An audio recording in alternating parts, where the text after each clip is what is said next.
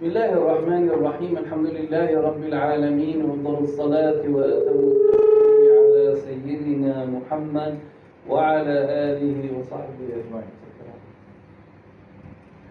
طيب قال آه، حنخلص بقى نحن بسرعة. بدنا نختم الدرس صرنا يمكن هذاك رقم هذاك رقم ثلاثة أو اثنين وهذا ثلاثة أو ثلاثة وهذا أربعة.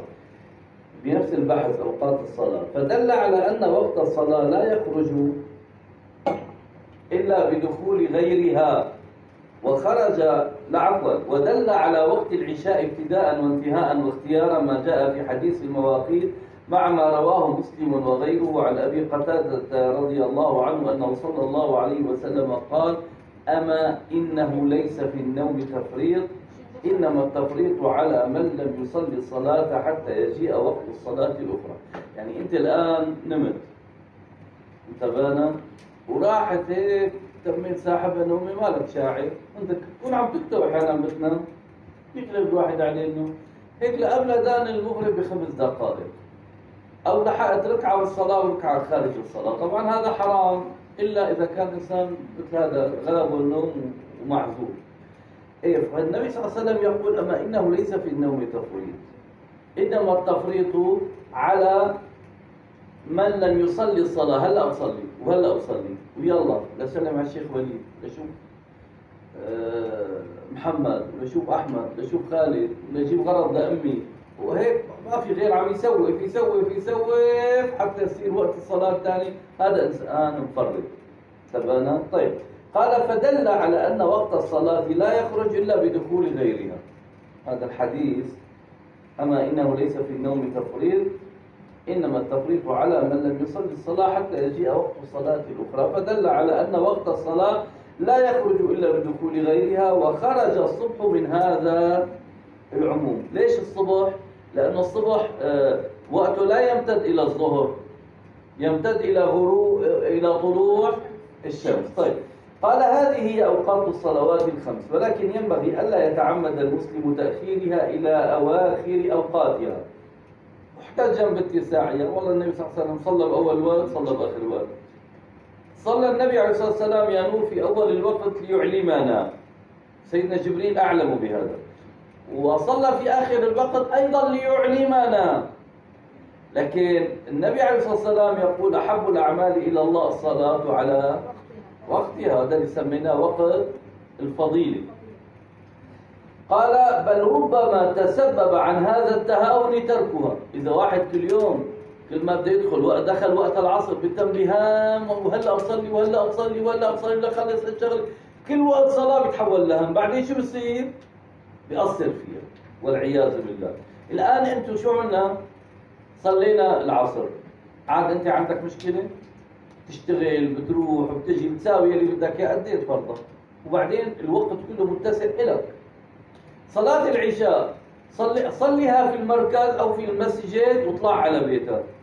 سرت ما سرت ما بتقول أنا هلأ بصلي وكذا. وبعدين يا لطيف غلبني النوم ونمت. أنت آسف لأنك اخرتها اخرتها انتبهت علي. أما صليها بوقتها في وقتها ولا تتسبب في تركها. ولا تسوف فلا تكون آثما إن حدث معك طارئ من نوم أو ما شابه.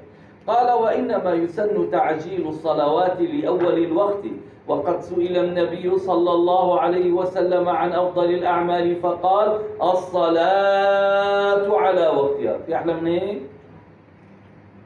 أنا قلت لكم كان عندي شريك عامي لكن والله ملتزم ما شاء الله أحسن من طلاب أحسن مني.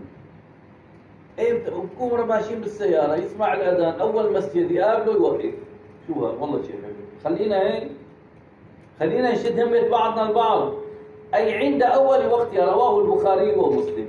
واعلم أن من وقع بعض صلاته في الوقت وبعضها خارجة فإنه إن وقع ركعة آه، في الوقت كانت الصلاة اداء. يعني أنت إذا صليت جزء من الصلاة بالوقت هلا هلا مو نحن العصر. واحد صلى الظهر بآخر الوقت. فأدرك جزءا من الصلاة من صلاة الظهر بوقت الظهر. بعدين قال الله أكبر المؤذن فأدرك تتمة الصلاة خارج الوقت. قال إن لم يدرك ركعة فالصلاة ليست أداء انتبهنا؟ قضاء.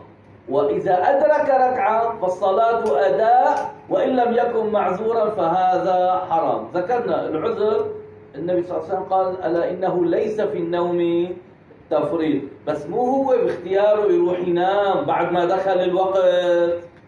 انتبه لا. بس في واحد أحيانا كتر تعبان شغال الليل كلياته وكذا. من قبل الظهر بينام قوم بيسحبها لبعد العصر. واوقات لبعد المغرب. طيب هذا متعرض لإرهاق شديد. هذا بنقول الا إنه كما قال عليه الصلاة والسلام الا إنه ليس في النوم تفريط.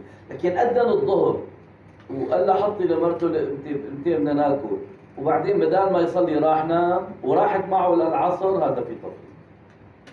تبانا طيب.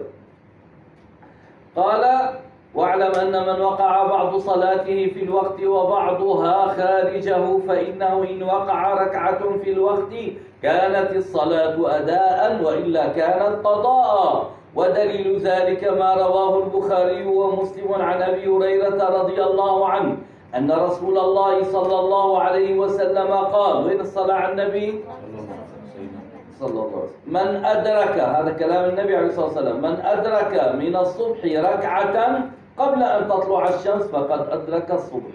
ومن أدرك ركعة من العصر قبل أن تغرب الشمس فقد أدرك العصر. يعني أدركها أداء. يعني لحق ركعة كاملة وقام للثاني قال الله أكبر. انتبهنا أدرك أداء. لكن بقى إذا في تفريط بيكون هذا الأمر حرام. طيب هذا وقت الحرمة بسميه فقهاء الشافعية.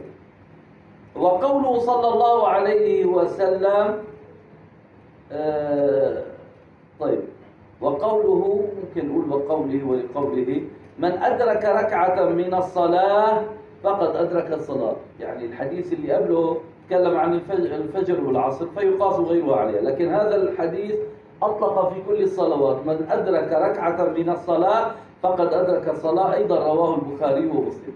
هلا بكرة إن شاء الله بدنا نقرأ الأوقات التي تكره فيها الصلاة.